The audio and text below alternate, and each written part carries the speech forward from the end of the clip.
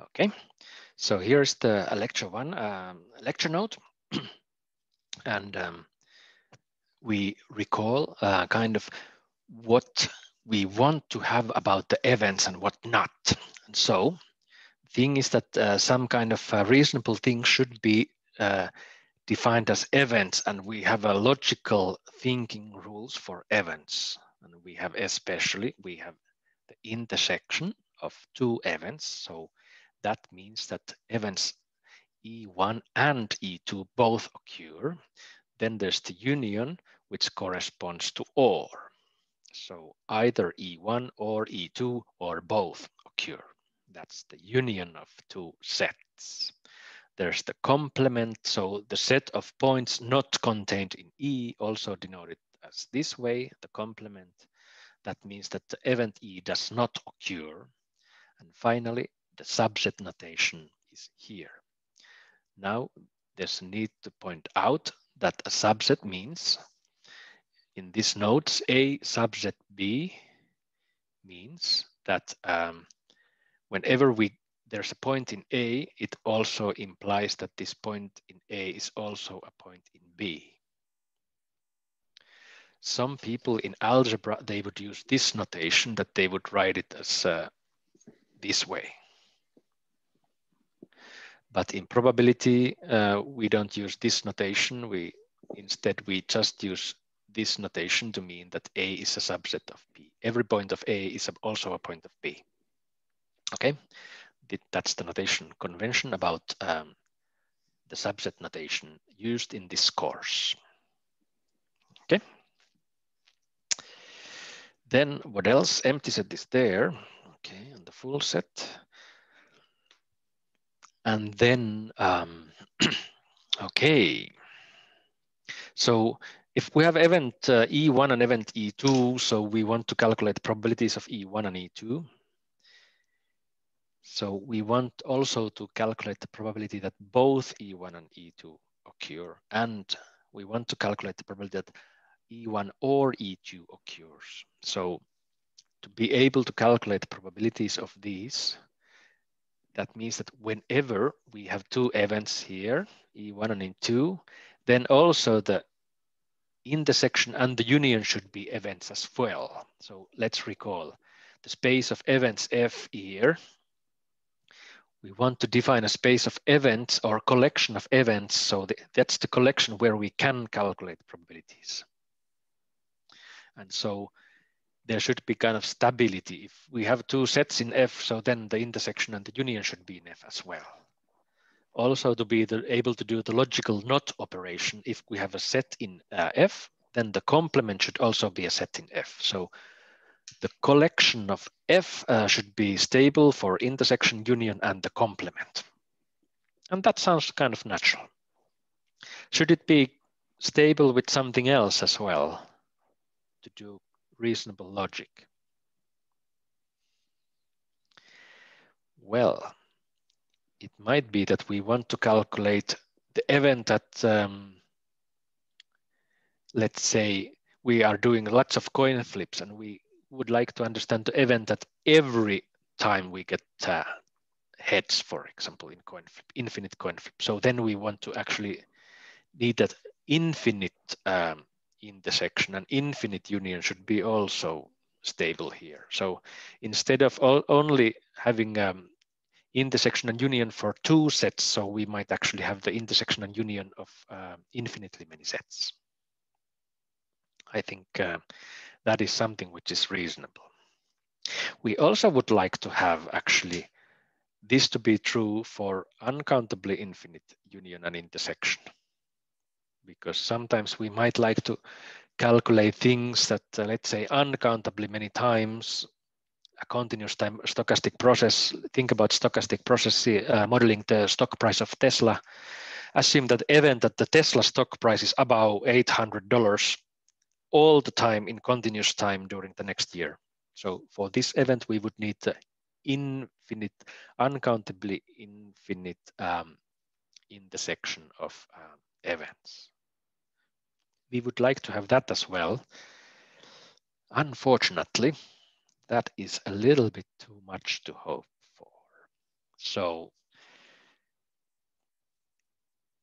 it so happened the theory of uncountable infinities was developed around 130 years ago by Cantor and uh, Riemann and colleagues.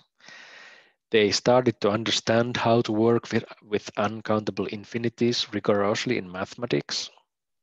And uh, there were people such as Lebesgue, Henri Lebesgue, Emile Borel, and um, some Italian counterparts and, and other German um, and Russian.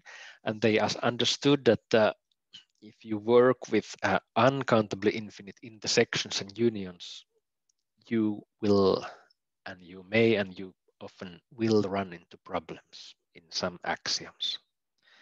This is why we have decided, or not, not myself, but let's say many people before me, especially Andrei Kolmogorov, that um, we don't require uncountably infinite unions and intersections in the definition of event spaces. We only require countably infinite intersections and unions. This is what leads to us to the definition of a sigma algebra, and it is here. The definition of sigma algebra is here. So a collection of F, a collection of subsets of omega, and because it's a collection of subsets, we could think that it's a sub-collection of the power set of omega. Remember, this is the power set.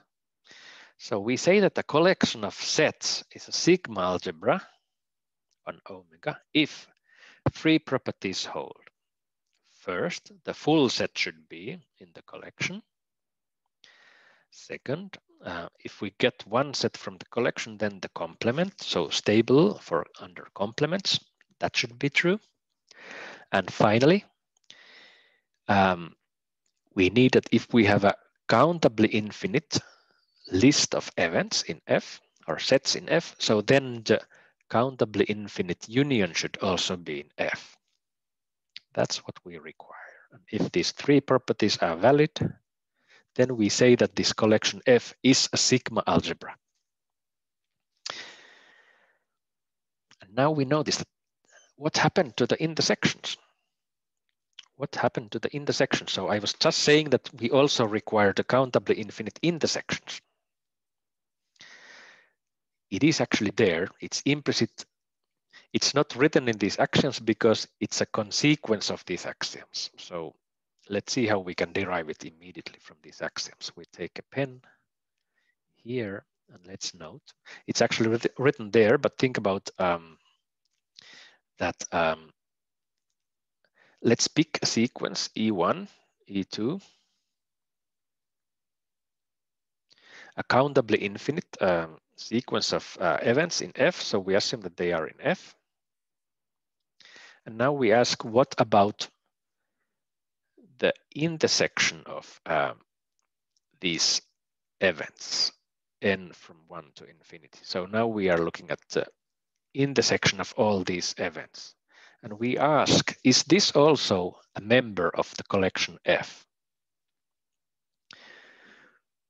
Well, it's not in the axioms, but then we might remember from some other course, or we might learn it now that we can transform intersections into unions by taking complements. So there's a so-called De Morgan law, actually it's mentioned here, it's in appendix. So by De Morgan's law, we can look at the complement of this. And the De Morgan's law says that the complement of an intersection is the union of the complements. So by applying this, we can write this as the union of the complements of En, and then we take another complement, which is actually below in the text as well. So now we see that uh, this intersection is actually a union of complements, and then we take a complement. Now let's recall this E1, E2, each of these were members of F. So then the En complement is also a member of F. Each one of these, because we are using this rule, the sigma complement rule. And then we know that each of these E and C, each of these sets is a member of F. Then we use the axiom number three that uh, we have a closed under countably infinite uh, union. So then we know that this union here is also a member of F, right? And then finally, we are taking one more complement of a member of F. So then we know that the complement is also a member of F. So we conclude that actually this is a member of F as well.